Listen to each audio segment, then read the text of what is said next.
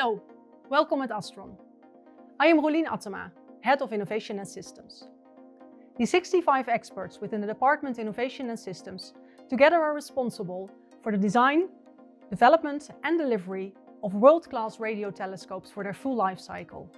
That's our contribution to Astron's mission, making discoveries in radio astronomy happen.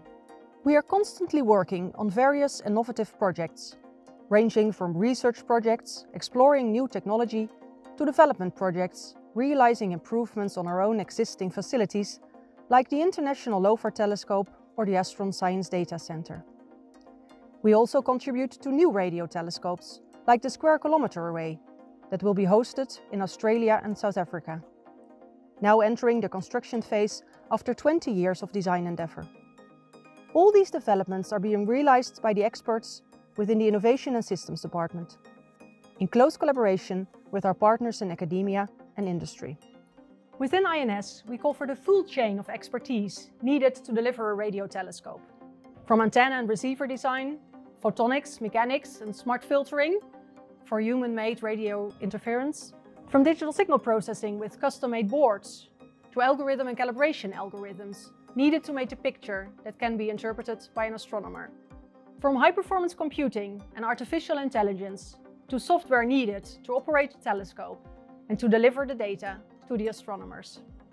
And last but not least, we have the expertise around project management and system engineering to ensure everything is coming together. The close collaboration between the expertises is made visible in programs like the upgrade of the LOFAR telescope. Within Astron, we are unique in the fact that we have three types of professionals under one roof. The I&S experts, with their technical and system engineering skills, can have direct contact with astronomers doing their research. But on the other side, also with the operators, being responsible for smooth operations of our own telescopes. You can imagine that these two types of colleagues come with quite distinct sets of requirements. The astronomers always put requests on their wish list that are just impossible. They want to look deeper in the universe, want to see a broader frequency range than ever before, or have a bigger field of view. And in the astronomy, the world is quite binary. You either have an instrument that is the best of the world in its niche, or you have nothing. Because the astronomers worldwide only want to work with the best data possible. And on the other side, we have the operators, responsible for 24-7 smooth operations. They come with requests on low maintenance, low system failure, and good system health monitoring, for example. Combining these two sets of complementary requirements in both the design phase and during development is what makes working at the Innovation and Systems Department so challenging and interesting. To support short iterations in our innovation process, we have state-of-the-art R&D test facilities. Our technical support group facilitates and supports our researchers and developers in fast prototyping. One of examples is this antenna test room.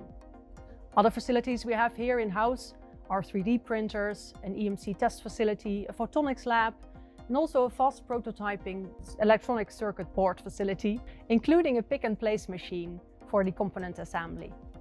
We also have various design and simulation tools at our disposal. Within I&S, we organize our research by technology roadmaps. Shared understandings of which technologies to further explore and when. Our Smart Front-End roadmap focuses on there where the signal comes in and is working on different antenna designs, new versions of receivers, but also smart filtering techniques and other RFI mitigation. Our smart backend technology picks up where the digital signal processing starts and focuses on new versions of electronic boards, high performance computing or artificial intelligence, for example, to handle the large amounts of data. Together with our partners, we write innovative project proposals to fund our research. We closely work together with our academic partners in hosting master students, for example, having shared positions at universities or shared PhD students performing the research. These state-of-the-art facilities are not only accessible for our own experts, but also for our industry partners. Special attention is paid to the small and medium enterprises in the north of the Netherlands. We organize introduction courses on wireless data but also more advanced courses on RF techniques. We work together with the European Space Agency on a project for a reference antenna for the GNSS, the Global Navigation Satellite System, And we work with the KNMI and the Ministry of Defense in a project on an instrument for space weather. This all comes together in programs like the upgrade of our LOFAR telescope, where a full redesign of our signal path is needed, from station to the software controlling the telescope, or the program around our Science Data Center, opening up archives for our astronomers and providing them access to European high-performance computer systems, resulting in even more impact for our telescopes and more groundbreaking science. And here the digital tour ends. I showed you some highlights of the Innovation and Systems Department within Astron, and I hope you enjoyed it. Have a nice day. Bye-bye.